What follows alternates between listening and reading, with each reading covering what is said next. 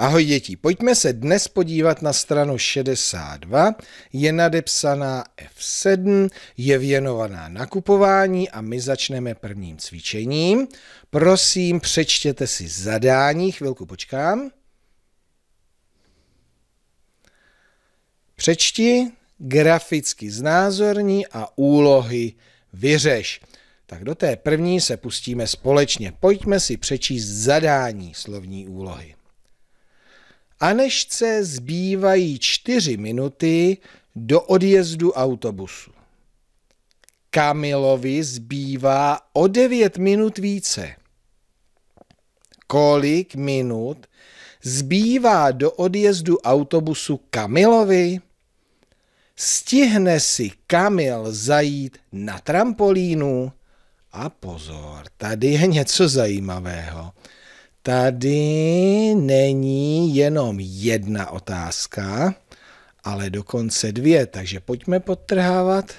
Tu první začíná tady velkým písmenem té věty kolik, ve slově kolik, a až tady po tenhle otazník. Tak, až sem. No a druhá otázka, ta je tady a já ji podtrhnu jinou barvou abych na ní potom nezapomněl. Tak, jdeme doplňovat zápis. Aneška, Anešce, co o ní víme, že jí zbývají čtyři minuty do odjezdu autobusu, tak to důležité jsou ty čtyři minuty. Jednotky zapíšu tou zkratkou. Tak, Kamil, Kamilovi, a co pak víme o něm, zbývá o 9 minut více. Tak o 9, jo a teďka nesmím moc roztahovat, aby se mi to sem vešlo. Minut více.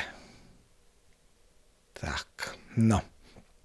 A měli bychom to také znázornit tady graficky, takže Aneška 1, 2, 3, 4. Takhle 4 minuty má do odjezdu. No a co ten Kamil? Ten má, kdyby měl stejně, tak má taky čtyři, jenže on má o více, takže přidáváme o 9, o 1, o 2, o 3, o 4, o 5, o 6, o 7, o 8, o 9 až sem. Takhle, no ale vy to nebudete počítat takhle po jedné jako já. Vy to vypočítáte příkladem. Jakým? O více sčítáme nebo přičítáme o 9 plus 9.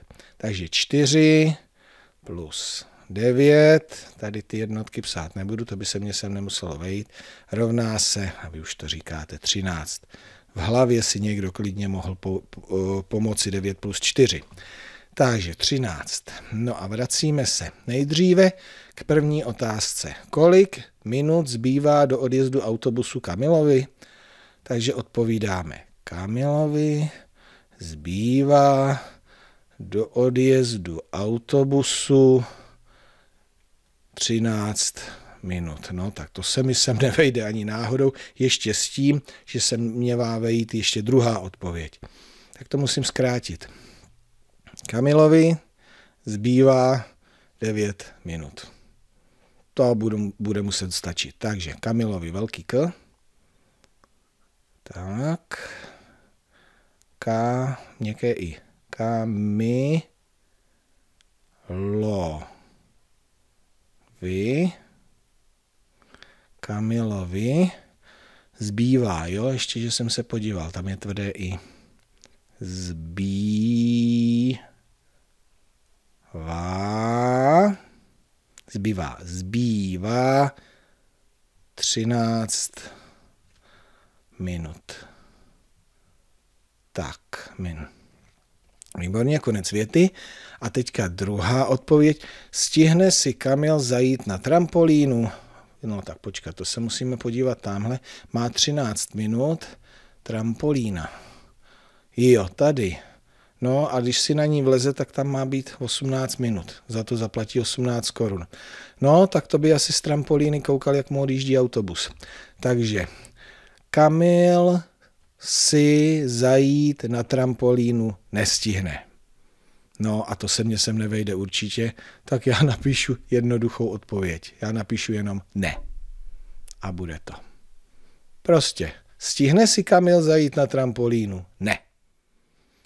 Jednoduché, možná trošku zvláštní, ale něco rozumného, delšího bych sem nedal. Tak, podíváme se na řešení. Aneška, Kamil dobrý, 13 Kamilovi, zbývá 13 minut do odjezdu autobusu, no tak to bych chtěl vidět, jak se to sem vejde. Kamil si nestihne zajít na trampolínu. Jasný, já jsem to vyřešil trošku zvláštně. Ne, tak, fajn, takže tohle jsme udělali společně, asi chápete proč. No a teďka to udělejte samostatně. Zvládnete to, určitě. Věřím vám, držím palce.